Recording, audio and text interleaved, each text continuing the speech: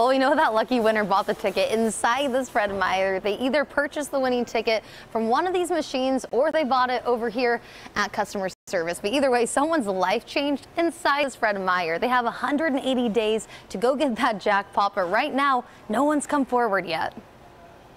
Was it you? No. Was no, it you? No, it was you. Me?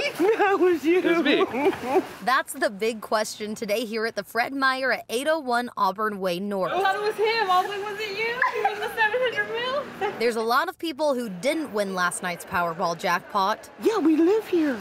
Yeah. Oh my God, I even bought, but I didn't win anything. This Fred Meyer is where the $754 million Powerball jackpot ticket was purchased on Sunday, where customers say they hope the money is used for good. People out there that need help, and I, I would help people the best I could. The winner has two options. They can opt for an annuity paid over 29 years, or they can take the jackpot in cash all at once, which will be around $407 million.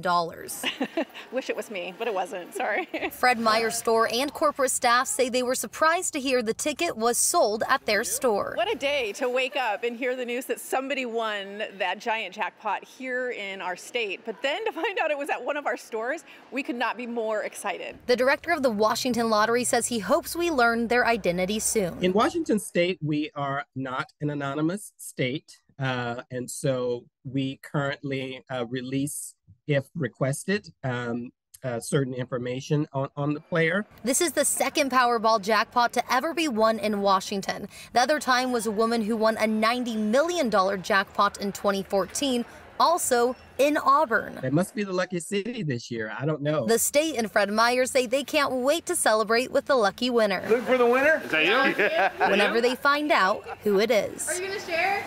I'd share. Heck yeah.